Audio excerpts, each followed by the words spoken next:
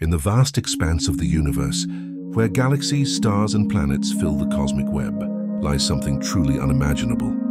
A place so massive, yet almost completely empty. Scientists call it the Bootes Void, a region of space so large, it stretches over one billion light years across. But here's the strange part. Inside that enormous volume, there are only a few hundred galaxies. To compare, a region of that size should contain thousands. Yet in the Bootes Void, there's almost nothing. If our Milky Way were placed at its center, we would barely see another galaxy in the night sky.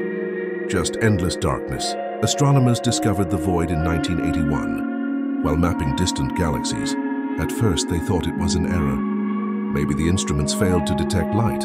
But no, it was real. A cosmic desert, surrounded by the bright clusters of the universe, yet completely silent within.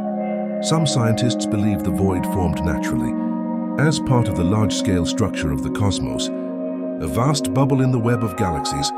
Others suggest something more mysterious, perhaps an ancient collision of universes, or even evidence of dark energy at work, shaping space itself.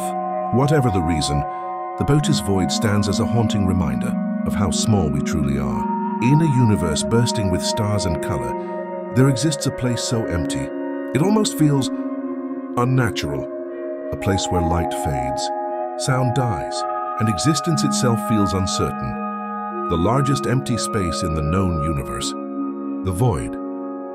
A silent echo in the endless dark,